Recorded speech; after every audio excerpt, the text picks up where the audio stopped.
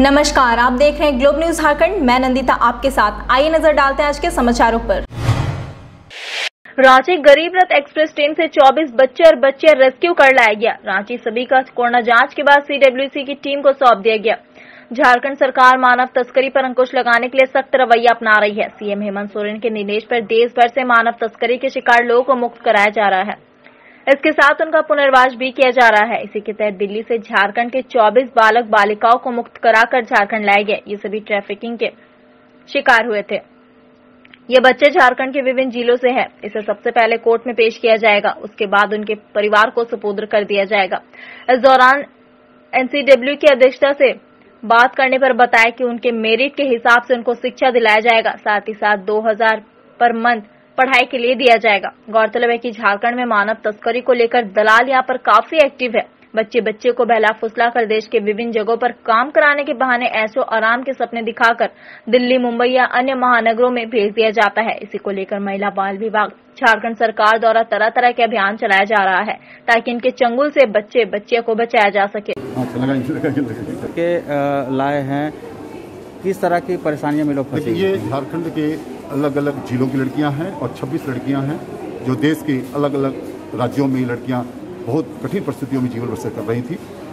एक साल, दो साल, तीन साल भी लड़कियों को हो गए थे और ऐसे परिस्थिति में लड़कियाँ काफ़ी अपने परिवारों से अलग थलग पड़ चुकी थी।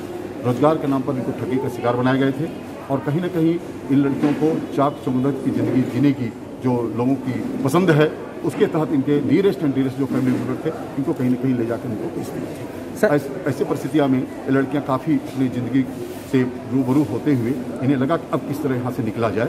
ये सूचनाएँ हमारे 10582 जो एंटी ह्यूमन ट्रैफिकिंग के हेल्पलाइन नंबर से दिल्ली में उनके माध्यम से भी सूचना प्राप्त होती है। उसके माध्यम से उनको रेस्क्यू करने का हमारी जो टीम है बाल कल्याण संघ का उनके टीम के माध्यम से इनको हम लोग ने रेस्क्यू करवाया सर ये कौन कौन से ज़िले की ये ये सबसे ज़्यादा लड़कियाँ हमारी दस लड़कियाँ साहबगंज ज़िले की हैं। आज के समय सबसे ज़्यादा सोर्सेस डिस्ट्रिक्ट के रूप में जाना जाता है साहबगंज जिला।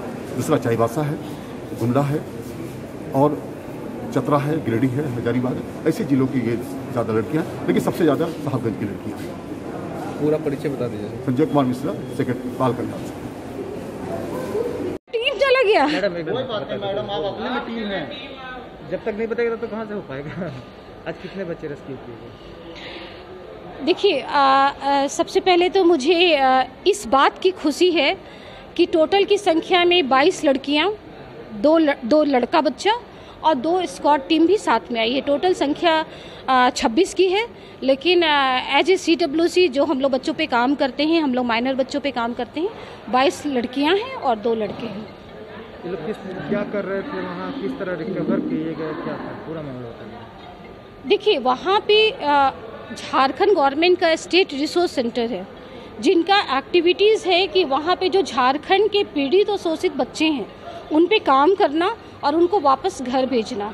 तो मुझे इस बात की बहुत खुशी है कि आज 24 बच्चे अपने घर को आए हैं, अपने झारखंड में आए हैं। लेकिन मुझे इस बात का बहुत दुख है कि मुझे लाना पड़ा और ये बच्चे आए हैं। तो सवाल ये उठता है कि ये बच्चे वहाँ तक कैसे पहुँच गए? तो ये बहुत संजीदा विषय है, बहुत सेंसिटिविटी के साथ सरकार काम कर रही है और मुझे ऐसा लगता है कि और भी ज़्यादा बढ़ चढ़ के काम करने की ज़रूरत है ताकि खुशी के साथ साथ जो बच्चों को आने के बाद जो रूबरू होने के बाद जो जो स्टोरी सामने आती है वो दिल दहलाने वाली बात है। मैम झारखंड में आए दिन ऐसे घटना घटते रहती है चाहे गुमला हो या पाकुड़ हो या फिर लोहरदगा इस तरह से बच्चों को काम के बहाने में कहीं कुछ लेके जाके उसको भेज दिया जाता है। इससे इसको रोकथाम के लिए क्या आप सरकार से मांग करते हैं और किस तरह से काम करना चाहते हैं? देखिए सबसे पहले तो हम ये कहना चाहेंगे कि गरीबी जो है वो किसी भी घटना का या किसी भी क्राइम का अंजाम नहीं हो सकता है। तो इस चीज़ को तो हम कंडेम करते हैं। लेकिन सवाल ये उठता है कि जो भी ट्रैफिकर्स जो भी दलाल, दलाली करके यहाँ से दिल्ली तक या हर स्टेट में कहीं ना कहीं बच्चों को पहुँचाते हैं तो वो सबसे पहले टारगेट करते हैं कि फैमिली का बैकग्राउंड क्या है फैमिली का रिक्वायरमेंट क्या है और फैमिली कैसे मोटिवेट हो सकती है। और उसके लिए वो जो ट्रैफिकर्स है चूँकि ट्रैफिकिंग ऑर्गेनाइज्ड क्राइम है ये एक संगठित अपराध है। इसमें कोई एक आदमी की भूमिका नहीं है। इसमें दस से भी ज़्यादा स्टेक होल्डर्स की भूमिका है जिसमें मुझे ऐसा लगता है कि उसका फैमिली भी जो है वो पहला स्टेक होल्डर्स है। चूँकि वो किसी भी हालत में प्रलोभन का शिकार हो जाते हैं जो जो लिक्विड मनी 2000, 4000, 5000 जो उनको दिया जाता है वो उसकी भूमिका में आ जाते हैं और उसके लालच में आ जाते हैं। क्योंकि अगर उनको ये पता चलेगा कि मेरे बच्चों को बाहर भेज करके उन बच्चों के साथ वायलेंस किया जा रहा है तो मुझे नहीं लगता है कि कोई भी पेरेंट्स तैयार होगा। कोई भी पेरेंट्स लेकिन उनको क्या कहा जाता है कि वो बहुत चकाचौंध की ज़िंदगी है ये है वो है दस तरह का प्रलोभन दिखाया जाता है। तो इस वजह से हमारे झारखंड की जो जो बच्चियाँ हैं जो फैमिली है बहुत सीधे साधे हैं भोले भाले हैं और वो प्रलोभन के शिकार हो जाते हैं। आगे जो बच्चे जितने आए उसके आगे का प्रोसेस क्या होगा? जो भी बच्चे हमारे पास आए हैं, मैं यहाँ पे बाल कल्याण समिति की अध्यक्ष की भूमिका में हूँ और सबसे पहले बच्चे हमारे कोर्ट में प्रोड्यूस होंगे और हर बच्चे की केस हिस्ट्री देखी जाएगी। और केस हिस्ट्री देखने के बाद जो बच्चे जिस ज़िले के हैं, उनको ट्रांसफ़र किया जाएगा। और जो बच्चे हमारे ज़िले के हैं, वो हमारे संज्ञान में हैं, हमारी टीम उनको देखेगी। उसके बाद हर की फ़ाइल की इंडिविजुअल केस हिस्ट्री तय होगी कि ये बच्चा वहाँ पे पहुँचा कौन, किसकी भूमिका थी, कौन इन्वॉल्व है। अगर पता चलेगा कि अगर जो इन्वॉल्वमेंट जिसकी है तो उसके खिलाफ कड़ी से कार्रवाई, कड़ी से कड़ी कार्रवाई की जाएगी, ताकि एक गोल सेट हो, एक मैसेज जाए कि जो भी ऐसा लोग काम कर रहे हैं, उनको थोड़ा सा डर हो। और हर बच्चे, अगर कोई बच्चा पढ़ना चाहता है उसको स्कूल में एडमिशन लिया जाएगा। सरकार सरकार का स्कूल है, कस्तूरबा विद्यालय है, समर्थ विद्यालय है, उनको भेजा जाएगा। अगर कोई बच्चा फिनेंशियल कारण से अगर वो पढ़ नहीं पाया तो उन बच्चों को अभी सरकार के द्वारा 2000 पर मंथ बच्चों को दिया जा रहा है। पढ़ाई के लिए तो वो बच्चे को उनको स्पॉन्सरशिप से जोड़ा जाएगा।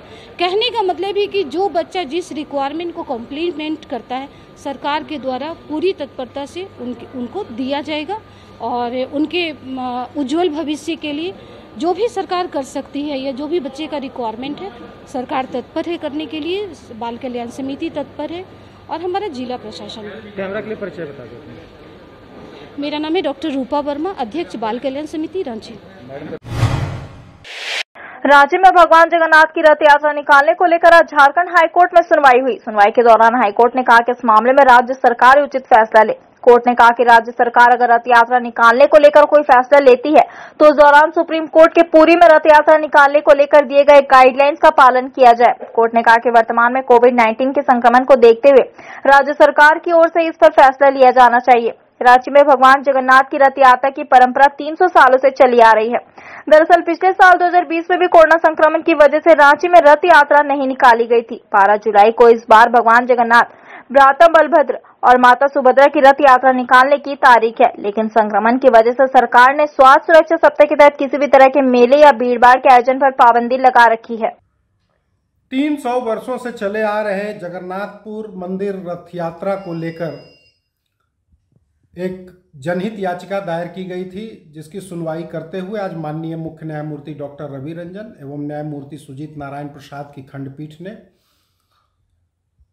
राज्य सरकार को इसमें निर्णय लेने के लिए कहा है और मौखिक टिप्पणी करते हुए कहा कि चूँकि आदेश की कॉपी आने में समय लगेगा, इसलिए राज्य सरकार के अधिवक्ता, राज्य सरकार को संपर्क कर, उन्हें सूचित करें कि यथाशीघ्र इस पर निर्णय लें कि किस प्रकार से रथ यात्रा की व्यवस्था की जा सकती है, जिसमें सीमित लोग हों और सीमित शर्तों के साथ इस रथ यात्रा को निकाला जा सके। इस पर राज्य सरकार को निर्णय लेना है। डोरंडा स्थित राज्य श्रम विभाग ने ट्रेड यूनियन लाइसेंस को लेकर गिरिनाथ सिंह की अध्यक्षता में बैठक की गई। बैठक में श्रम मंत्री सत्यानंद भोक्ता शामिल हुए। बैठक में 950 ट्रेड यूनियन का लाइसेंस में लगभग 750 ट्रेड यूनियन का लाइसेंस को समाप्त कर दिया गया। उसी को लेकर बैठक में चर्चा की गई। चर्चा के उपरांत यह निर्णय लिया गया। अब नए सिरे से ट्रेड यूनियन का लाइसेंस बनेगा, इसके लिए कुछ सरलीकरण किया गया है, जिससे आसानी से ट्रेड यूनियन को लाइसेंस मिल जाएगा। श्रम मंत्री सत्यानंद भोक्ता ने कहा, ट्रेड यूनियन लाइसेंस को लेकर चर्चा की गई है। श्रम विभाग के सचिव को निर्देश दिया गया है। जल्द ही ट्रेड यूनियन लाइसेंस को लेकर जल्द से जल्द जो समस्या आ रही है, उसे निपटारा किया जाए। प्रवर्ती सरकार से यह मामला चलती आ रही थी, लेकिन अब यह मामला जल्द ही समाप्त कर दिया जाएगा और लाइसेंस मिल जाएगा। गिरिनाथ सिंह शामिल हुए थे। भाजपा नेता गिरिनाथ सिंह ने कहा, मंत्री जी से सकारात्मक बातें हुई है। जल्द इन सब मामलों को हल कर लिया जाएगा। ट्रेड यूनियन लाइसेंस का रास्ता साफ़ हो गया है। मंत्री जी का आश्वासन से यह बहुत लंबित मामला था। वहीं श्रम विभाग के सचिव ने कहा, ट्रेड यूनियन लाइसेंस के लिए अब नए सिरे से कागज़ी प्रक्रिया करनी होगी, जिन्हें लाइसेंस लेनी है। लाइसेंस लेने से अब किसी भी प्रकार का पेचीदा नहीं रहेगा। नौ लाख दो हज़ार किसानों के कर्ज माफ़ी के बाद अब राज्य के 19 लाख किसानों को केसीसी के माध्यम से बड़ी राहत देने की तैयारी कृषि विभाग कर रही है। कृषि मंत्री बादल पत्रलेख ने कहा कि राज्य के 19 लाख नए किसानों का आवेदन लिया जा रहा है। इन आवेदनों को बैंकों को दिया जाएगा। बैंकों के लिए टारगेट सेट होगा। मंत्री बादल पत्रलेख ने राज्य के सभी बैंकों से अपील कर कहा, किसानों के लिए आगे आए। साथ ही मंत्री ने सभी जिलों के उपायुक्तों को भी निर्देश दिया है और कहा, बैंकों से तालमेल रखे। ताकि विपत्ति के समय भी हमारी सरकार किसानों के साथ खड़ी रहे। मंत्री ने कहा, दो लाख छियालीस हज़ार बारह किसानों के लिए 980 करोड़ छह लाख रिलीज़ किया गया है, राज्य सरकार द्वारा। जिसको लेकर जिला स्तर पे जो हमारे जिला, विभिन्न डायरेक्टरेट के जिला पदाधिकारी हैं, उन सबको इस बार जो समय से मानसून आया, तेरह जून, और हमने उसके ठीक एक महीना पहले से बीज वितरण शुरू किया, चूँकि इस बार कैलेंडर बना। सब कुछ सिस्टमेटिक और अकॉर्डिंग टू प्लान किया जा रहा है। दूसरा ये माननीय मुख्यमंत्री जी ने जो विभाग की समीक्षा की थी, उन्होंने जो विभाग को सुझाव दिया था टास्क दिया था, कि हमें मछली पालन के क्षेत्र में one goods one district one crop उसको लेकर विभाग की गतिविधियों को तेज करना है। और साथ ही जो सिस्टर डिपार्टमेंट जिस पर हम डायरेक्ट या इनडायरेक्ट रूप पर निर्भर हैं, जैसे इरिगेशन जल संसाधन से चेक डैम वगैरह बनता है, बड़े तालाबों का जीर्णोद्धार होता है कोऑर्डिनेशन ग्रामीण विकास से कुआँ बनता है, वहाँ से कोऑर्डिनेशन फ़ूड प्रोसेसिंग के यूनिट लगने हैं, जैसे आप कहते हैं बराबर कि तरबूज नहीं बिक रहे, तरबूज सब जगह पैदा हुआ है तो पेरेसेबल आइटम से नॉन पेरेसेबल आइटम जैसे दूध यदि ज़्यादा मात्रा में है तो हम उसको पाउडर बना के उसको बाहर भेज सकते हैं। तरबूज यदि ज़्यादा मात्रा में है तो उसका जूस निकाल के ये कर सकते हैं। टोमेटो ज़्यादा पैदा हुआ है तो पैदावार हुआ है तो उसका पाउडर या टोमेटो केचप बना सकते हैं। तो ये डिपार्टमेंट के, ये काम के लिए हमें फ़ूड प्रोसेसिंग इंडस्ट्री पे डिपेंडेंट करना पड़ता है। तो इन सब चीज़ों को लेकर आज हमने कहा कि आपको सभी डिपार्टमेंट के लोगों से ये करना है। माननीय मुख्यमंत्री जी का ये था चीफ सेक्रेटरी डेवलपमेंट कमिश्नर और स्पेशल सेक्रेटरी इन सब चीज़ों को मॉनिटर करने के फाइनेंस सेक्रेटरी को भी कहा था। और ख़ास करके जो के हमने दिया है, उसको भी लेकर अभी वीसी है चार बजे से, सभी डिस्ट्रिक्ट उपायुक्त के साथ। तो फ़िज़िकल एक प्रोग्राम था जिसका टेक्निकल सेशन अभी चल रहा होगा, बिरसा एग्रीकल्चर यूनिवर्सिटी के जो कृषि विज्ञान केंद्र है, वो कैसे कोऑर्डिनेट कर रहे हैं। कुल मिलाकर आप यदि देखेंगे तो विगत दस वर्षों में जो हमारा खाद्यान्न उत्पादन था तो वो डबल हुआ है। इसको हंड्रेड परसेंट और अचीव करने के लिए क्या हमें कारगर प्लानिंग करना चाहिए तीन साल का? कि जब वर्तमान हेमंत सोरेन जी के कार्यकाल पूरा होगा, जो सपना हमारा है कि 24 लाख विरसा किसान को समृद्ध बनाएँगे, जो जीडीपी में अभी का योगदान 12 परसेंट है, उसको 20 परसेंट तक ले जाएँगे। ये एक डाटा सभी चीज़ों को का जवाब है कि हमारा जो 10 लाख हेक्टेयर का गैप है नेट, जो एरिया है जिस पर हम कल्टीवेशन कर सकते हैं, वो 38 लाख हेक्टेयर है पूरे प्रदेश में। लेकिन खेती होती है मात्र 28 लाख हेक्टेयर। तो 10 लाख हेक्टेयर का जो गैप है तो वो हम इरिगेशन डिपार्टमेंट, ग्रामीण विकास, इन सबसे कोऑर्डिनेट करके या फॉरेस्ट विभाग चूँकि फॉरेस्ट भी काम करता है जल संरक्षण का। इन सबसे कोऑर्डिनेट करके इसको हम अचीव कर सकते हैं और नेट सोन एरिया को बढ़ा सकते हैं जिससे पैदावार बढ़ेगा। और हम अन्न उत्पादन में भी पूरे राज्य के अग्रणी राज्यों में खड़े होंगे। एक सपना हमने देखा है जिसके मॉनिटर माननीय मुख्यमंत्री जी खुद कर रहे हैं और जब उनके विभागीय समीक्षा आपने देखा होगा तो पाँच घंटे की बहुत बड़ी बैठक चली थी। और सब लोग चीफ सेक्रेटरी से लेके सभी लोग इसमें शिरकत कर रहे थे।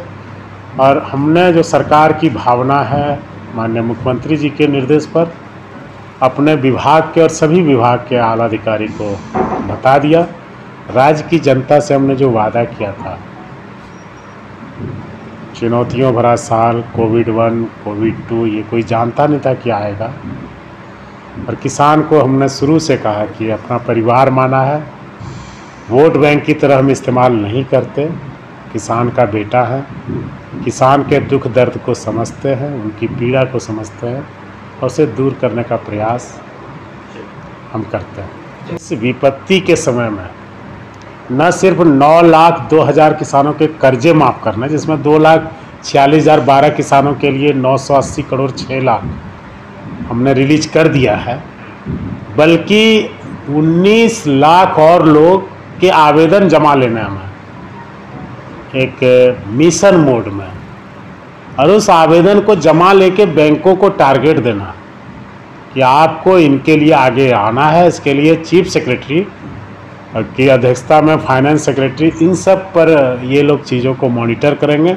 कृषि विभाग की आज कार्यशाला इसको लेकर है कि चौबीसों जिलों में जो ये आंकड़ा है 19 लाख से ज़्यादा भी हो सकता है जो आंकड़ा है, बहुत आदमी हो सकता है उसमें बाहर हो माइग्रेंट हो रजिस्ट्रेशन नहीं करा सको लेकिन कम से कम उतने लोगों का आवेदन लेना है और हमें ये बताना है, बैंकों को टारगेट देना है। तो इसीलिए एक मौका है राज्य के किसानों के लिए जो सोचते हैं कि विपत्ति के समय सरकार मेरे लिए क्या कर रही है। सरकार आपके लिए अवसर ला रही है, आप इसमें आएँगे।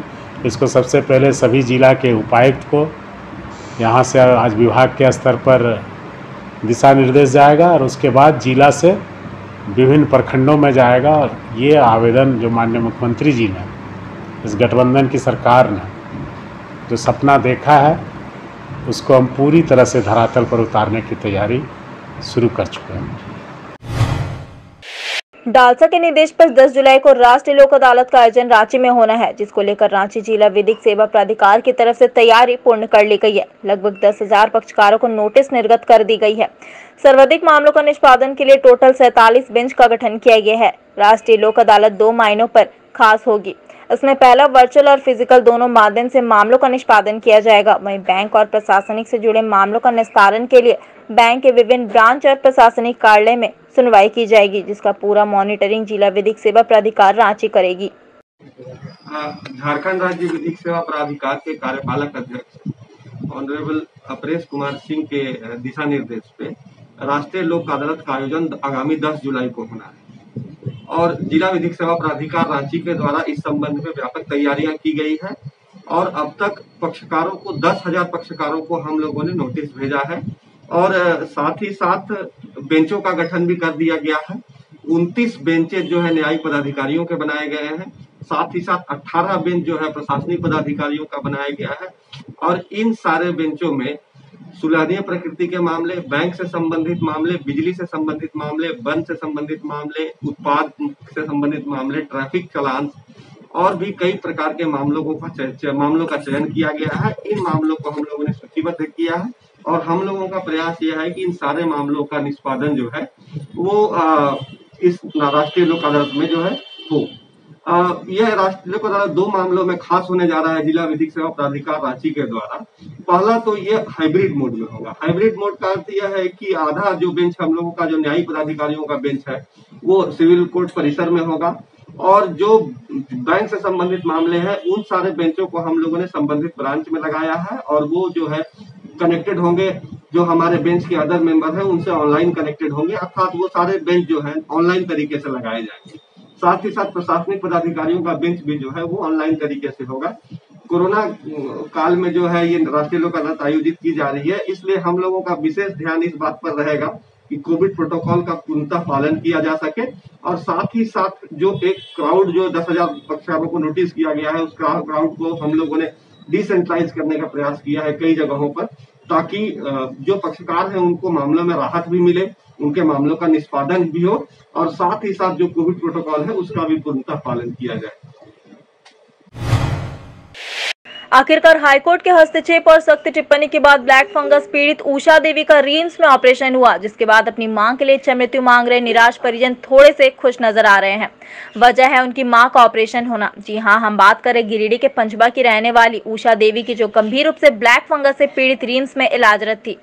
रिम्स के ईएनटी ओटी में डॉक्टर सी के बिरुआ की देखरेख में उनका आँख का ऑपरेशन किया गया। कुछ दिन पहले अपनी माँ के सही तरीके से इलाज न होने की वजह से निराश होकर रिम्स की दहलीज पर बैठ अपनी माँ के लिए इच्छा मृत्यु की मांग करने वाले आज उनके बेटे व बेटी खुश है।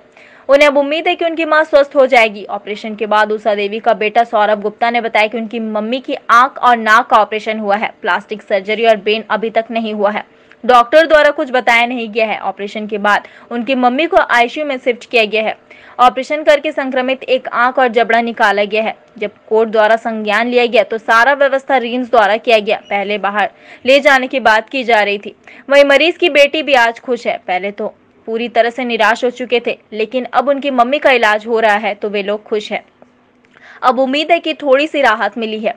उन सबको धन्यवाद करेंगे सरकार, रिम्स प्रबंधन हाई कोर्ट को, जिन्होंने उनकी मदद की है।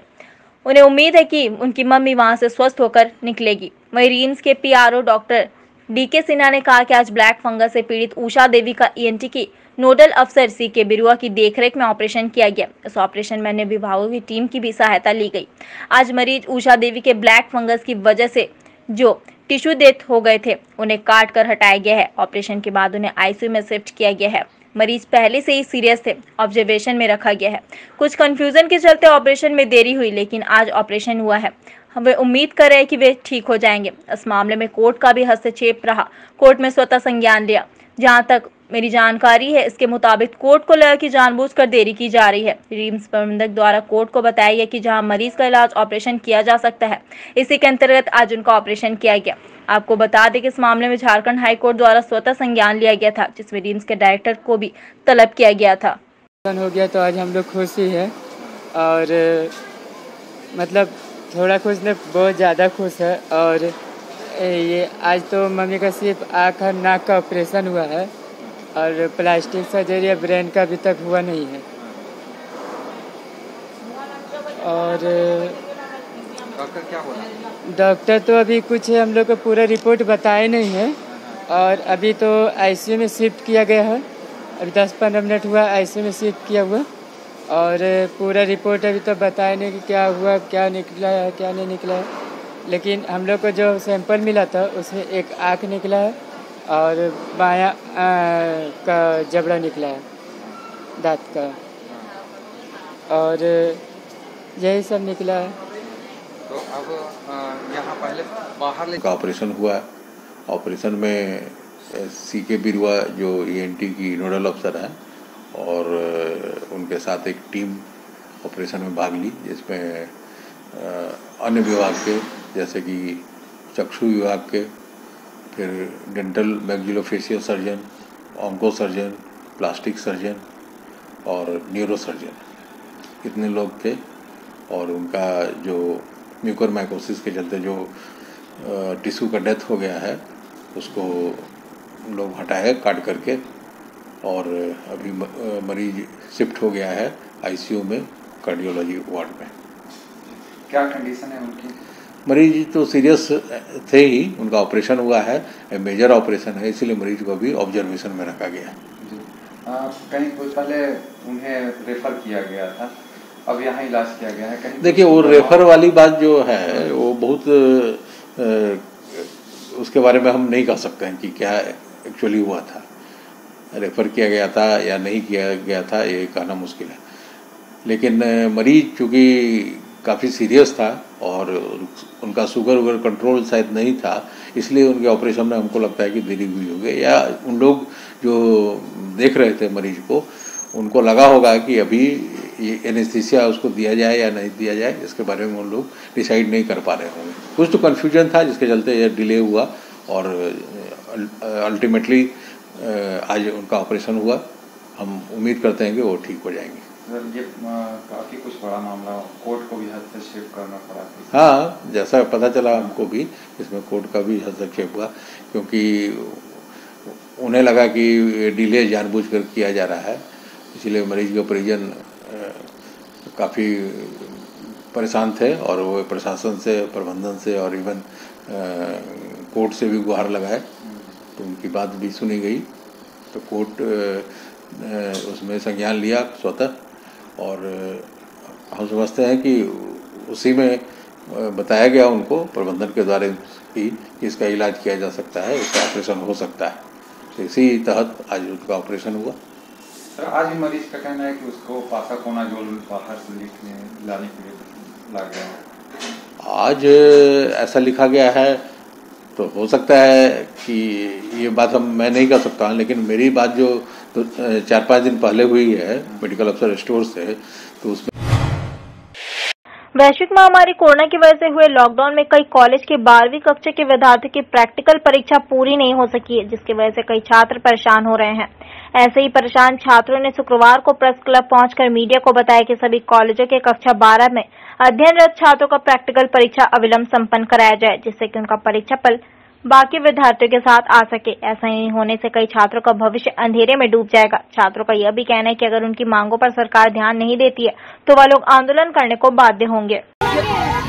हमारी मांगे है कि अप्रैल में परीक्षा ट्वेल्थ के विद्यार्थियों का स्टार्ट हुआ था, जो सरकार के आदेश के बाद उसको बीच में ही बंद कर दिया गया। अब बहुत सारे विद्यार्थी उसमें छूट गए हैं। अब गवर्नमेंट बोली है जैक बोला है कि तेरह तारीख तक सबको अंक अपलोड करना है सारी कॉलेज को। अब जिन विद्यार्थियों का नहीं हुआ है, उनका भविष्य अंधेरे में है, उनका कॉलेज कर नहीं रहा है, बोल रहा है कि हम लोग कॉलेज खोलने का आदेश नहीं है। तो ये समस्या है कि कॉलेज करे तो क्या करें? कॉलेज हाथ खड़ा कर दिया कि हम लोग कुछ नहीं कर सकते। तो और बात की हम लोग कॉलेज में, कोई सहयोग नहीं मिला प्रशासनिक से। तो अब वहाँ बोल रहे हैं कि जिनका स्टूडेंट हो आप हम लोग मतलब सबका नहीं हुआ था लगभग बीस से तीस परसेंट स्टूडेंट बच गए थे। और हर कॉलेज का बचे हुए हैं। लेकिन कुछ बाकी कॉलेज अपने स्टूडेंट को बुला के ले रहे हैं। हम चाहते हैं कि हम लोग का प्रैक्टिकल करवा के बाद में सबका रिज़ल्ट जारी किया जाए। कॉलेज का कहना है कि जिनका प्रैक्टिकल हो गया उनको भेज देंगे जिनका नहीं हुआ उनके लिए सोचा जाएगा। ट्वेल्थ का विद्यार्थी हम लोग। का विद्यार्थी हैं साइंस आर्ट सबका छूटा हुआ है। हाँ कॉलेज में सबसे संपर्क कर चुके हैं। कॉलेज का प्रिंसिपल हो गए हैं बाकी जो टीचर हो गए डिपार्टमेंट का हो गए का एच का सब सब कह रहे हैं कि हम कुछ नहीं कर सकते जब तक डिजास्टर मैनेजमेंट कॉलेज खोलने का आदेश नहीं देता है तब तक। अच्छा प्रैक्टिकल के लिए नोटिस भी निकाला गया था। कॉलेज से कोई नोटिस नहीं आया है।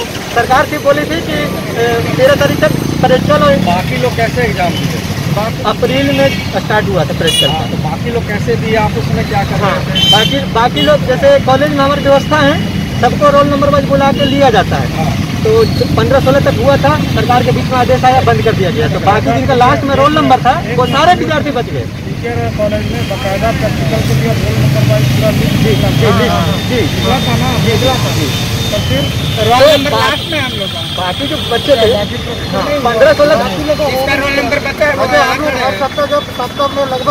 कितना रोल नंबर तक का हुआ है। क्या नाम क्या क्या नाम है तुम्हारा? मेरा नीरज कुमार गिरी नाम है। किस तरीके से आंदोलन करोगे? नहीं हो रहा अगर नहीं हो रहा है तो हम लोग धरना धरना देंगे और हमारा मांग यही रहेगा कि हम लोग का भी प्रैक्टिकल करवा कर और सबका रिज़ल्ट साथ में घोषित किया जाए ताकि हम लोग आगे अपना भविष्य देख सकें। ज़िले में सड़क जाम और बदहाल यातायात व्यवस्था सुधरने का नाम नहीं ले रहा है। ऐसे में जिला यातायात पुलिस ट्रैफ़िक को व्यवस्थित करने के बजाय वाहन जाँच अभियान में ज़्यादा रुचि दिखा रही है। शायद झारखंड में यातायात पुलिस को ही सरकारी कोच भरने की जिम्मेवारी मिल गई है। ऐसे में शुक्रवार की सुबह शहर के बरटान सिटी सेंटर के समीप वाहन जाँच अभियान चलाया गया, जिसमें दर्जनों बाइक सवारों को हेलमेट, ज़रूरी कागजात व मास्क के अभाव में यातायात पुलिस ने कार्रवाई की। जबकि कई लोगों ने बताया कि यातायात पुलिस को वाहन जाँच अभियान के साथ साथ शहर की बिगड़ती हुई यातायात व्यवस्था को भी गंभीरता से देखना चाहिए जिससे कि सड़कों पर अनावश्यक जाम की स्थिति उत्पन्न न हो। ट्रिपल लोड के लिए जाँच चल रहा है। किसके आदेश अनुसार ये बड़ी पुलिस अधीक्षक महोदय का आदेश है। जिन लोगों को पकड़ा गया उनसे क्या कुछ फाइन वसूला जा रहा है कितना फाइन जी हेलमेट का एक हज़ार है ट्रिपल लोड का एक हज़ार फाइन जो सरकार द्वारा निर्धारित है वही लिया जा रहा है। आगे भी जारी रहेगा ये अभियान? जी जी डेली जारी प्रतिदिन ये जारी रहेगा। अभी तक कुल कितने लोगों को सुबह से पकड़ा गया अभी तो पाँच गाड़ी को पकड़ा गया है। अभी तक किसी ने फाइन जुर्माना नहीं दिए हैं न वो उसके कारण कट पाया। जैसे जुर्माना वो भरेंगे उनका छोड़ दिया जाएगा। पूर्व विधायक सूर्य सिंह बेशा ने कहा कि हेमंत सरकार अपने चुनावी वादों को 8 अगस्त तक पूरा करे, नहीं तो करेंगे आंदोलन। मीडिया से बात करते हुए सूर्य सिंह बेशा ने कहा कि झारखंड राज्य आंदोलनकारी सेनानी की ओर से घोषणा की गई है कि 8 अगस्त शहीद निर्मल महतो के शहादत दिवस तक वर्तमान मुख्यमंत्री हेमंत सोरेन जी को आगाह किया जा रहा है। चुनावी वादों को आठ अगस्त तक पूरा करे, बत्तीस के खतियान पर स्थानीय नीति। निर्धारित करे और उन लोगों को नियोजन करे। साथ ही पेशा कानून को लागू करे। स्थानीय भाषा नीति को लागू करे। साथ ही साथ 2012 में झारखंड आंदोलनकारी को चिन्हित कर आयोग का जो गठन किया गया था, वह बंद हो गया है। पचास हज़ार से ज़्यादा आंदोलनकारी का आवेदन लंबित पड़ा हुआ है, जिसके बदौलत शहीदों ने प्राणों की आहुति दिया। आंदोलनकारियों ने जेल का यातना सही, पुलिस की यातना सही। इसलिए हेमंत सरकार को चेतावनी और आगाह है आठ अगस्त तक हमारी मांगों को पूरा करे अन्यथा आर पार की लड़ाई होगी। मेरे नेतृत्व में उन्नीस सौ नवासी में बहत्तर घंटा का बंद हुआ था उसी के तहत फिर उग्र आंदोलन होगा। क्या कहना चाहेंगे? आठ अगस्त यानी शहीद निर्मल महतो की शहादत दिवस है और आठ अगस्त को झारखंड सरकार हेमंत सरकार को हम लोगों ने चेतावनी देते हुए आगाह करते हुए खबरदार देते हुए अल्टीमेटम दे दिया कि आपने चुनावी घोषणा पत्र जो किया था वो आठ अगस्त तक पूरा करे। यानी बत्तीस के खतियान के आधार पर स्थानीय नीति निर्धारित करें और स्थानीय लोगों को जो है 80 प्रतिशत लोगों को नियोजित करे। साथ ही साथ यहाँ पेशा कानून 96 बना है। अभी तक पाँचवें अनुसूची में हमारे गाँव में हमारे राज्य ग्राम सभा का अधिकार देना होगा।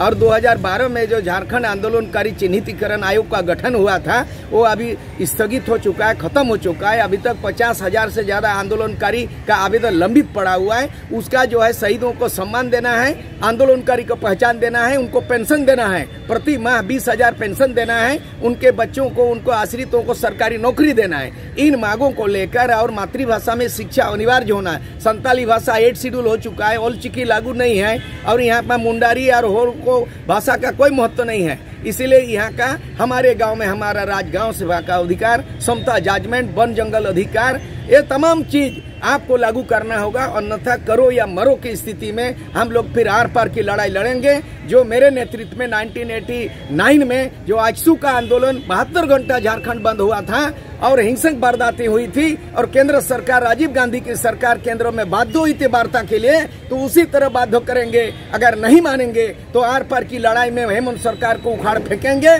और हमारे हमारे गाँव में हमारा राज कायम करेंगे। यही आह्वान है, आठ तारीख को करे और नहीं तो करो या मरो का सामना करे।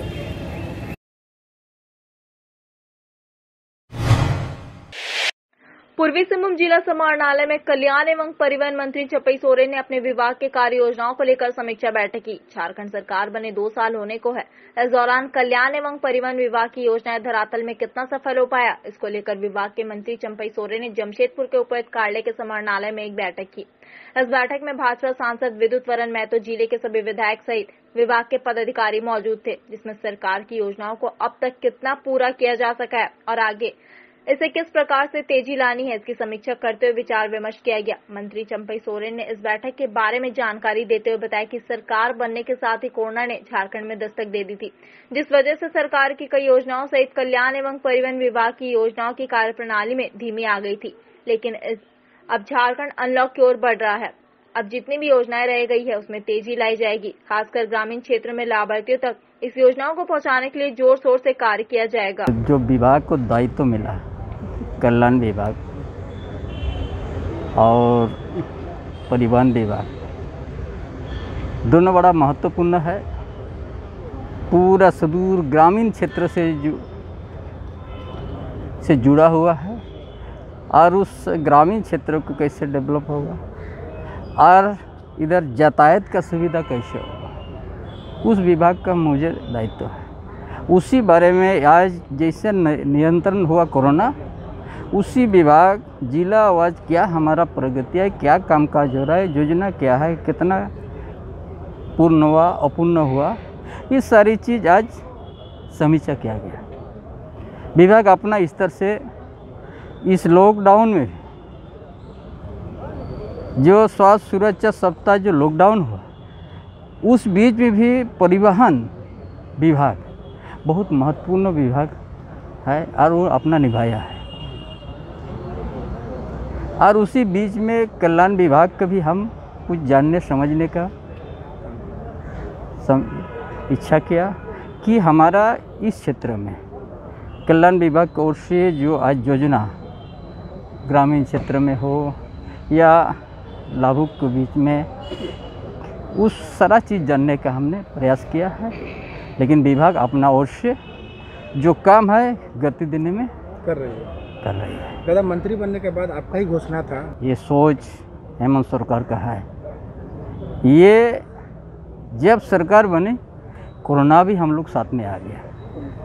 निश्चित रूप से जो हम लोग को गति देना था जो योजना को लाना था नहीं हो सका धीमा हुआ लेकिन बंद नहीं हुआ। है अब नियंत्रण में आ गया अब तेज़ी पकड़ेगा। दादा रघुवर जी की सरकार में आकर रहेगा देखिए हम पिछले की आलोचना अभी कार की टाइम बर्बाद नहीं करना चाहते हैं। हम लोग कुछ समय अभी नियंत्रण होते जा रहा अब ना हम लोग काम करते जाएँगे। आलोचना जितना की जाएगा, उतना कुछ निकलते रहेगा। उससे आपका समय हमको बर्बाद नहीं करना चाहते हैं। उसके लिए और अलग अलग प्लेटफॉर्म है। उसी जगह में उस बात को रखा जाएगा। यहाँ पर नहीं। वैश्विक महामारी कोरोना संक्रमण पर काबू पाने के लिए जिला प्रशासन ने ज़िले के ऑटो चालकों को वैक्सीन लगाने के अभियान में जुट गई है। शुक्रवार को अनुमंडल पदाधिकारी सुरेंद्र प्रसाद ने बताया कि ज़िले के ऑटो चालकों को रेलवे ऑडिटोरियम में इकट्ठा कर वैक्सीनेशन अभियान चलाया गया, जिससे कि ऑटो चालकों का कोरोना वायरस से बचाव हो सके। साथ ही उनके ऑटो में सवार होने वाले यात्रियों के भी स्वास्थ्य सुरक्षित रह सके। इस दौरान एसडीएम ने मीडिया को बताया कि वैक्सीनेशन अभियान को सुचारू रूप से चलाने के लिए वैक्सीन के स्टॉक में कमी देखी जा रही है। इस कमी को दूर करने के लिए जिला प्रशासन हर संभव प्रयासरत है। वहीं उन्होंने यह भी बताया कि इन दिनों जगह जगह पर बने हुए वैक्सीन सेंटर में हो रहे हंगामा को काबू करने के लिए पुलिस बल तैनात की गई है। हमें धनबाद में जितने वैक्सीन वैक्सीन लेनी है, जितना देना है, उतना हम लोगों को वैक्सीन उपलब्ध हो नहीं पा रहा है। पर हम लोग कल वहाँ फोर्स भी भेजा था हम लोगों ने कि वो भीड़ को नियंत्रित करने के लिए।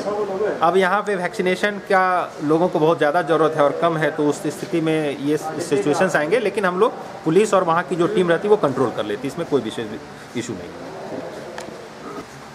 ऑटो चालक संघ के सदस्यों का पहले से एक डिमांड था कि, सर, हम लोग अपना ऑटो चलाते हैं, पैसेंजर्स हमारे साथ रहते तो हम लोगों को वैक्सीनेशन यदि हो जाता तो बहुत हद तक हम लोग सुरक्षित रहते।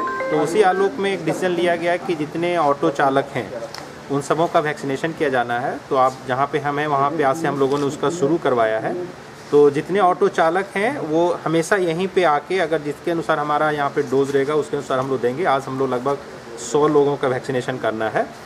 आ, हम लोगों ने ये निर्णय भी लिया है और संघ वालों ने भी इस चीज़ का सहमति दिखाई है कि जो भी ऑटो चालक हैं अगर वो वैक्सीन लगा के नहीं है और उनके पास सर्टिफिकेट नहीं है और हमारी ट्रैफ़िक पुलिस या हम लोग कभी देखते हैं कि उनके पास सर्टिफिकेट नहीं है तो संभवतः हम लोग वैसे ऑटो चालक को रोक देंगे। तो ये एक मास अवेयरनेस भी है आप लोगों के माध्यम से। कि जितने ऑटो चालक हैं वो बिना झिझक के आएँ और अपना वैक्सीन यहाँ पे लगवाएँ। जागरूक करने के लिए क्या किया जाएगा? क्योंकि काफ़ी संख्या में ऐसे भी हैं ऑटो चालक जो भी यहाँ पर नहीं आ रहे तो किस प्रकार से इन लोगों को जागरूक नहीं जागरूक करने का है कि इनके जो बहुत सारे लोग ले रहे हैं वो अपना कम्युनिकेट करेंगे लोगों को एक ये माध्यम रहेगा।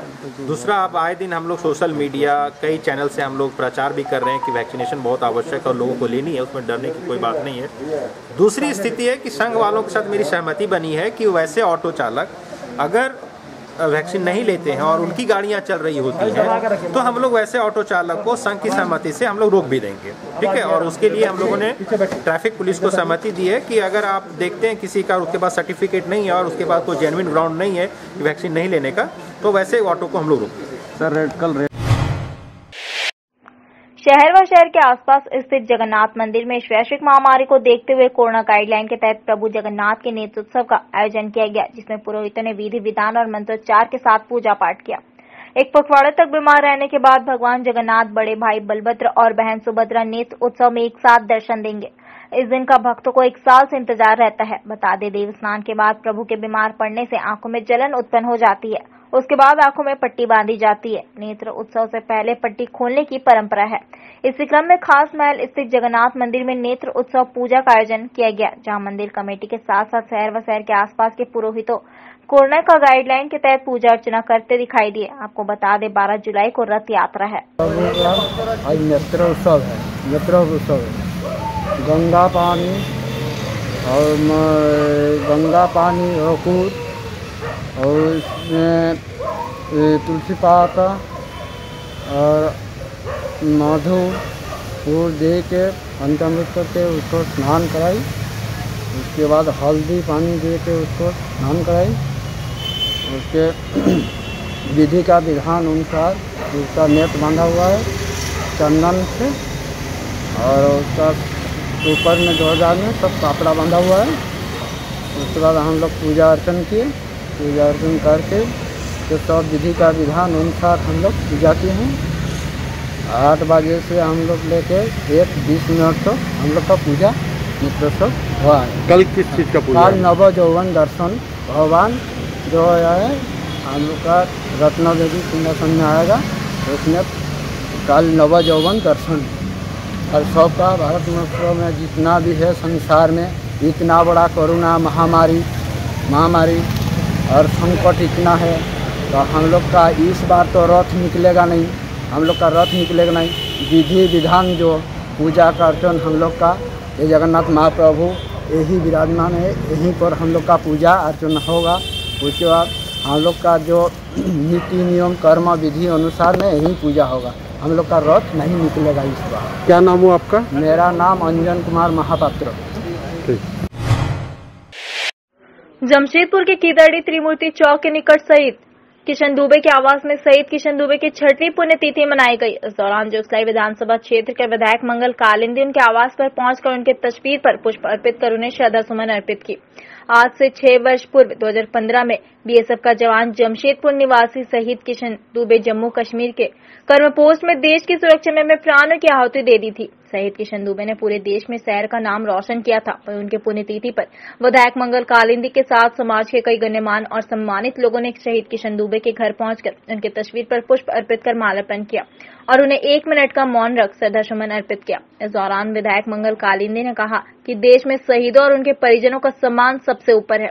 उन्होंने कहा कि उनके सम्मान में टाटानगर रेलवे स्टेशन के सेकंड गेट में प्रतिमा स्थापित कर उस स्थान का नाम शहीद किशन दुबे के नाम से हो, इसके लिए वे प्रयासरत है। और उन्होंने इस संबंध में चकदरपुर डीआरएम से मुलाकात कर इस बात को रखा और उन्हें पूरा उम्मीद है कि बहुत जल्द शहीद किशन दुबे की प्रतिमा स्थापित कर उनके नाम से एक चौक का नाम होगा। उन्होंने कहा, राज्य की सरकार शहीदों के सम्मान के लिए कटिबद्ध है और इस दिशा में कार्य कर रही है। सबसे पहले तो मैं आज हमारे शहीद, वीर शहीद किशन दुबे के पुण्यतिथि पर श्रद्धांजलि देने हम आए हुए हैं और साथ ही साथ उनके परिवार के लोगों को भी मैं तह दिल से मैं धन्यवाद देता हूँ कि ऐसे परिवार जो एक कई देश के सवा करोड़ लोगों के लिए जो अपनी जान की आहुति दी है, उसकी बलिदानी बेकार नहीं जाएगी। और हमारी सरकार हमेशा से शहीदों को सम्मान देने का काम किया है। और कल हमने सिकंदरपुर के जो डीआरएम जो है, उनसे हमने बातें की हैं कि शहीद किशन दुबे का मूर्ति वहाँ लगना चाहिए। और राज्य के माननीय मुख्यमंत्री हेमंत सोरेन साहब से भी हम इस बात को रखेंगे। और निश्चित रूप से शहीदों का सम्मान के लिए आगे बढ़कर हम लोग काम करने का काम करेंगे। क्योंकि अभी हमारे जो बहरागुड़ा विधानसभा क्षेत्र में गणेश हजदा का जो शहीद हुए देश के लिए हमें पता चला कि वहाँ उनकी मूर्ति बन रही है। और हमारे देश हित के लिए, देश के लिए लड़कर शहीद होने वाले किशन दुबे की मूर्ति की हम लोग मांग करते हैं। और हमने बात भी की है। और आगे हम लोग कोशिश और प्रयास रहेगा कि हम आगे बढ़कर इनका सम्मान देने का हम लोग काम करेंगे और इनके परिवार को भी हमेशा सम्मान देने का हम लोग काम करेंगे। एक लाचार एवं बेबस पिता अपनी पत्नी एवं बेटियों की भूख मिटाने के लिए छह साल की पुत्री को लेकर हाथ में कटोरा लिए दुकान दुकान भीख मांग रहा है और अपने परिवार का जीवन यापन कर रहा है। यह एक दुखदायी दृश्य देखने से कलेजा मुँह को आ जाता है। जहाँ तक हो सके दुकानदार इनके पेट को भरने के लिए यथासंभव पैसे दिया करता है। मगर आखिर कितने दिनों तक इस तरह अपने परिवार का जीवन यापन कर रहे हैं? तैतीस वर्षीय अनिल कुमार सिंह बागबड़ा किताड़ी का रहने वाला है, जो लफार्ड सिवेन कंपनी में ड्राइवर का काम किया करता था। 25 जुलाई 2017 की बात है। अनिल कुमार सिंह लफार्ज कंपनी से काम कर साइकिल से किताड़ी लौट रहा था। इस बीच रास्ते में एक लाल रंग की कार ने जोरदार टक्कर मार दी, जिससे इनका एक पैर पूरी तरह से टूट गया। जिसके बाद इन्हें एमजीएम में भर्ती कराया गया, जहाँ इनका बायां पैर काट दिया गया, जिसके बाद यह परिवार के लिए बोझ सा बन गया। भाइयों ने इन्हें घर से निकाल दिया। तभी अपने दो बेटी ममता कुमारी आठ वर्ष एवं गुड़िया कुमारी छह वर्ष एवं पत्नी के साथ भटकने लगा। चारों तरफ़ जब कहीं भी इन्हें किसी प्रकार का काम नहीं मिल पाया तो अंत में अनिल कुमार सिंह ने सोचा कि भीख मांग कर ही किसी तरह से परिवार को पालूँगा। इसी को लेकर अपने छह वर्षीय पुत्री गुड़िया कुमारी को लेकर रोज हाथा हल्दी पोखर, हिंसल व राजनगर आदि जगहों में भीख मांगकर अपने परिवार को पाल रहा है। बाप बेटी की इस दृश्य को देखने से लगता है कि मानो दुखों का पहाड़ टूट पड़ा हो। अनिल कुमार सिंह के पास न राशन कार्ड है, न वोटर कार्ड, आधार कार्ड वह भी खो गया है। पैर कट जाने से दिव्यांग हो चुके अनिल को अब कोई रोज़गार देने वाला भी नहीं है। मैं चाहती हूँ हम पापा का पैर कट गया ना तो हम लोग भीख मांग के खा रहे हैं। पढ़ना चाहती हो? हाँ। में गाड़ी सीमेंट चलाता था गाड़ी दस चक्का बारह चक्का। ये भी यूनिवर्सल था। गाड़ी हैंड ओवर दे के दूसरे ड्राइवर साइकिल से आ रहा था। कार वाला पीछे से मार दिया। रात का नौटरी का समय था दस साढ़े दस बजे से छोटा मोटा कोई गाड़ी था नहीं जो उसको पकड़ लेता। खाली एक्सीडेंट होते तो मैं इतना देखा कि लाल कलर का गाड़ी। था वहाँ बेहोश होकर मैं पड़ा रहा कोई दो अज्ञात बेचारा मोटरसाइकिल वाला आया मेरे को एम पहुँचा दिया। वो भी रिपोर्ट वपोर्ट नहीं लिखा है। बाद में मेरे को बहुत समझाएगा रिपोर्ट वपोर्ट लिखा था मैं तो बेहोश होता कोई साथ में था नहीं घर परिवार वार का। तो अभी आप कैसे जीवन यापन कर रहे हैं? जीवन ऐसा हो रहा है कि कुछ कोई काम उम खोजना तो कोई काम देना नहीं खोजता मेरे को बहुत कर अब दो गो लड़की इनको हला के देखते हैं इनको तो मांगने मांगू तो गुजारा करना पड़ रहा है घर का। ये घटना कितने पहले हुए थे? ये पच्चीस जुलाई 2017 में हुआ था। लगभग तीन साल हो गई हाँ जी चार साल हो जाएगा जुलाई में। और आपको विकलांग पेंशन मिलता है? नहीं मिलता सर। मेरा कोई कोई है नहीं कोई जान पहचान के कि कुछ करवा दे। मेरे को तो बोलता था बहुत लेकिन सर जाने के लिए सोचना करना बच्ची लोग का पढ़ाई कैसे होगा? बच्चे लोग का सर अभी का स्कूल वकूल बंद है अभी मैं अपने कुछ जो पढ़ा लिखा हूँ थोड़ा बहुत अपने से पढ़ाना पड़ता है। और बाकी समय आप साथ में भीख मंगवाते हैं? आप आप कितना पढ़े लिखे हो? मैं नाइन्थ क्लास तक पढ़ा करे में तो चलना उलना रहता है कुछ खाना वाना मिल जाता है भोजन में से ढोते नहीं बेचारा खाना वाना के लिए उनको बेचारा जोड़ा लेके आ जाता है अब नहीं मांगे सर घर में कोई है भी नहीं मेरे आगे पीछे भी कोई कमाने वाला नहीं माँ भी नहीं है भाई भी साथ नहीं दे रहे। एक तो परिवार है वही सर बीमार रहती है। क्या नाम है इसमें छोटी लड़की है इनका गुड़िया कुमारी एक तो बड़ी लड़की है ममता कुमारी। कितना क्लास पढ़ती है? तो सर अभी तो उनका पहले पहले भी नाम लिखवाया था इन लोग का। छः सात महीने जैसे स्कूल में बैठे फिर लॉकडाउन लग गया डेढ़ दो साल तो ऐसे ही हो गया सर। आपका क्या नाम? जमशेदपुर के मानगो सारा सिटी में नाबालिग से दुष्कर्म और देव व्यापार कराने के मामले में नया मोड़ आ गया है। आरोपियों पर केस आरंभ करने के कोर्ट के आदेश के साथ ही विपक्षी दलों ने सरकार और मंत्री पर हमला तेज कर दिया है। मामले की सुनवाई कर रहे स्पेशल कोर्ट पॉस्को एडीजी पाँच सुभाष की अदालत ने पीड़िता की माँ की अर्जी मंजूर कर ली है। इस अर्जी में स्वास्थ्य मंत्री बन्ना गुप्ता के भाई गुड्डू गुप्ता, तत्कालीन डीएसपी अजय किरकेट और तत्कालीन एमजीएम थानेदार इमदाद अंसारी सहित कुल 22 लोगों को आरोपी बनाने की अपील की गई थी। कोर्ट ने सीआरपीसी की धारा 319 के तहत इन्हें आरोपी बनाने और इन पर ट्रायल चलाने का आदेश दिया। पीड़िता की माँ ने इस साल 3 मार्च को कोर्ट में अर्जी दाखिल की थी, जिसमें आरोपी के नाम पते में त्रुटि होने के बाद दोबारा 1 जुलाई को सभी 22 लोगों के नाम पते के साथ संशोधित अर्जी दाखिल की और इन्हें अभियुक्त बनाने की मांग की लोक अभियोजक आर के शर्मा ने कहा। पीड़िता की ओर से सीआरपीसी की धारा 319 का आवेदन न्यायालय में दिया गया था इसमें कुल 22 लोगों को अभियुक्त बनाने की गुहार लगाई थी। अदालत ने आवेदन पर सुनवाई के बाद मामले से जुड़े सभी लोगों को अभियुक्त बनाने का आदेश पारित किया है। इसके बाद सभी आरोपियों को समन भेजा जाएगा। दुष्कर्म मामले में राज्य के स्वास्थ्य मंत्री के भाई का नाम आते ही विपक्षी पार्टी राज्य सरकार पर हमला बोल दिया है। जहाँ जमशेदपुर के भाजपा पार्टी के सांसद है विद्युत वरण महतो ने। इस घटना को दुर्भाग्यपूर्ण बताते हुए शहर के लिए शर्मनाक बताया। वहीं उन्होंने स्वास्थ्य मंत्री के बिना नाम लेते इस घिनौने अपराध के आरोपियों पर कड़ी कार्रवाई की मांग सरकार और प्रशासन से की है। वहीं जमशेदपुर पश्चिमी के भाजपा प्रत्याशी देवेंद्र सिंह ने इस मामले को लेते हुए स्वास्थ्य मंत्री ने इस्तीफा की मांग की है। उन्होंने कहा कि मंत्री के चालक पर दुष्कर्म का मामला दर्ज, मंत्री के भाई पर दुष्कर्म का मामला दर्ज। मंत्री को खुद आगे आकर इसका जवाब देना चाहिए, नहीं तो मंत्री पद से इस्तीफा देना चाहिए। पीड़िता के साथ पूरा भाजपा पार्टी खड़ा है और हम लोगों को न्यायालय पर पूरा विश्वास है कि पीड़िता को न्याय मिलेगा। ये पीड़िता तो पहले बहुत दिन से 1918 से ही ये दौड़ रही है और इसमें चूँकि पुलिस के बड़े बड़े अधिकारी इस बलात्कार की घटना में सम्मिलित थे तो इसलिए केस को दबाने का प्रयास हुआ। उसमें माननीय स्वास्थ्य मंत्री बन्ना गुप्ता के भाई भी हैं और भी करीब 20-22 लोग इसमें सम्मिलित हैं जिसमें डीएसपी भी है इंस्पेक्टर भी है। ये नाबालिग है पोस्को एक्ट में ये तीन लोगों को पकड़ करके 2018 में एक, एक उसको बोलते हैं ना कि उसको खाना पूर्ति करे ख़त्म करने का प्रयास हुआ, चूँकि बड़े बड़े लोग इसमें सम्मिलित थे। लेकिन जब मामला जब कोर्ट के अंदर चला गया, कोर्ट में कंप्लेन हुआ, चैलेंज हुआ उस चार्जशीट को कि तीनी पर क्यों? इसमें इतने लोग सम्मिलित थे, उसने बयान दिया कोर्ट के अंदर में। तो कोर्ट ने संज्ञान ले लिया इसमें। इसे पोस्को और क्या नाम है, ये तीन सौ छिहत्तर का मुकदमा तो बन रहा है।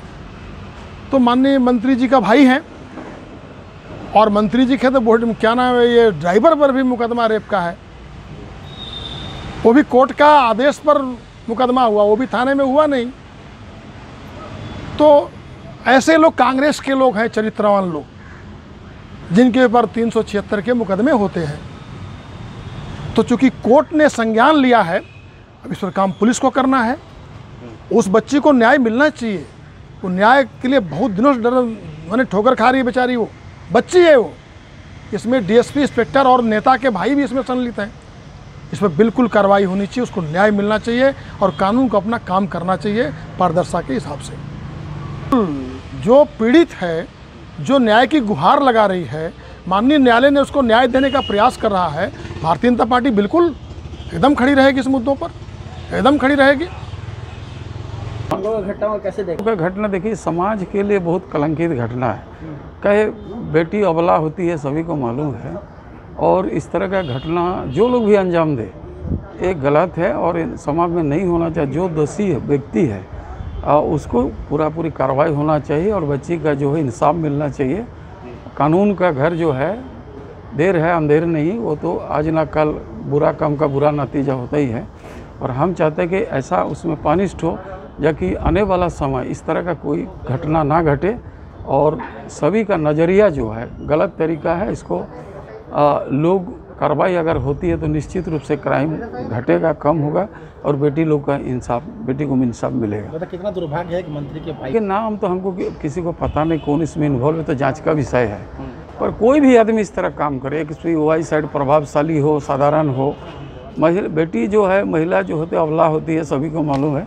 किसी के ऊपर अन्याय इस तरह, अत्याचार इस तरह होना, ये दुर्भाग्यपूर्ण है, ये अच्छी बात नहीं है। समाज के लिए भी अच्छी बात नहीं, आने वाला पीढ़ी को भी, सबक के लिए बढ़िया बात नहीं है।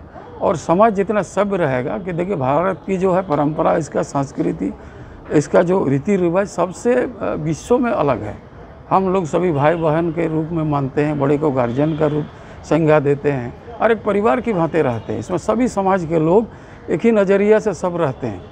ये अच्छी बात है। इसी को मेंटेन करके हुए समाज में बेहतर ढंग से जीने का मार्ग प्रस्त करना चाहिए न कि गलत कोई काम। कोर्ट के जो आदेश है वो कोर्ट से नई संगत है कोर्ट ने जो आदेश दिया जाँच होना चाहिए।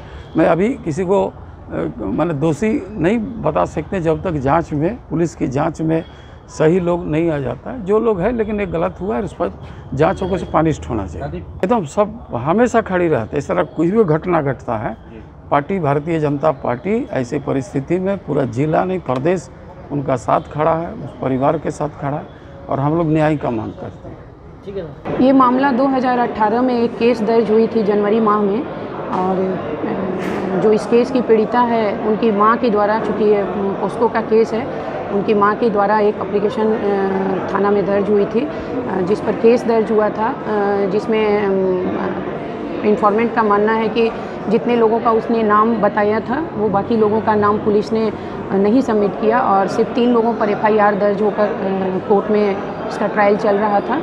और इस पर इस मामले पर सीबीआई सीआईडी जाँच भी चल रही थी, जो कि सीआईडी जाँच रिपोर्ट अभी तक सबमिट नहीं हुई थी, जिसके लिए पीड़िता के द्वारा हाईकोर्ट भी ये मामला गया हुआ है, जो वहाँ अभी लंबित चल रही है। और इसके अलावे यहाँ कोर्ट में केस का ट्रायल शुरू हो गया और पीड़िता की गवाही हुई है। पीड़िता की गवाही के बाद बाकी जितने एक्यूज हैं 22 एक्यूज और लोग हैं जिनका नाम आया है उन लोगों का नाम जो बाकी गवाह दिए हैं, इसमें दस लोगों की गवाह हुई है, जिसमें बाकी गवाह भी इस नाम को सपोर्ट किए हैं। उसी के एवज में मैंने 319 का पिटीशन डाला है कि जिन बाकी लोगों का नाम आया है, उन्हें भी नोटिस किया जाए और आगे का ट्रायल उनके ऊपर भी चला जाए। बात नहीं है बड़े लोगों का नाम आ रहा है या किसी का भी नाम आए मुझे न्यायालय पर पूर्ण भरोसा है और ऐसा हमारे देश में होता नहीं है। और बहुत से जो भी प्रशासनिक अफसर हैं वो लोग सभी लोग सपोर्ट कर रहे हैं और मुझे उम्मीद है कि आगे मुझे न्याय मिलेगा उस पीड़िता को न्याय मिलेगा। पूरा नाम ममता सिंह परसुड़ी के सरजामदा जगता मैदान में जिला परिषद उपाध्यक्ष राजकुमार सिंह के द्वारा सरना समेत मार्शल मड़वा क्लब के खिलाड़ियों को जैकेट और फुटबॉल प्रदान कर उन्हें खेल के प्रति प्रोत्साहित किया गया और उनके उज्जवल भविष्य की कामना की। जिला परिषद उपाध्यक्ष राजकुमार सिंह ने इस दौरान खिलाड़ियों से मुलाकात की और उनका हौसला अफजाई किया। साथ ही उनके बीच फुटबॉल और जर्सी का वितरण किया। जानकारी देते हुए जिला परिषद उपाध्यक्ष राजकुमार सिंह ने बताया कि ग्रामीण क्षेत्रों में प्रतिभा की कमी नहीं है। ज़रूरत है एक मंच प्रदान करने की। ऐसे में खिलाड़ियों को प्रोत्साहित करने के उद्देश्य से, उन्हें आगे बढ़ाने के उद्देश्य से हर संभव प्रयास किया जा रहा है। इसलिए उनके बीच खेल सामग्री का वितरण किया जा रहा है। उन्होंने बताया वे हमेशा प्रयासरत रहते हैं। खिलाड़ियों को आगे बढ़ाने में उन्होंने इस दौरान खिलाड़ियों के उज्जवल भविष्य की कामना की। हाँ बोले।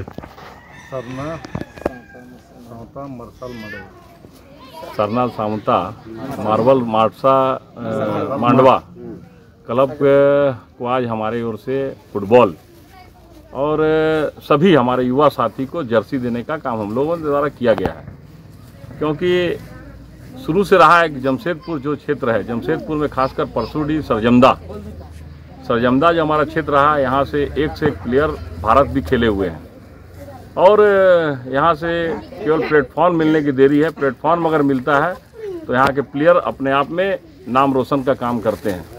इसलिए हम लोगों ने यहाँ के युवाओं को आगे बढ़ाने के लिए आज क्लब को, सभी जितने भी हमारा युवा टीम है, उसको हम लोगों ने जर्सी दिया, दो फुटबॉल दिया, और ज़रूरत पड़ेगा तो हर जगह पर, हर मुकाम पर इनके साथ हम लोग खड़े में खड़े रहेंगे ताकि हमारे युवा आगे खेलें और देश के लिए खेलें और राज्य के लिए खेलें। CTA Aviation and Hospitality Management. Admission open for Diploma in Aviation and Hospitality. Our contact number 7903302477.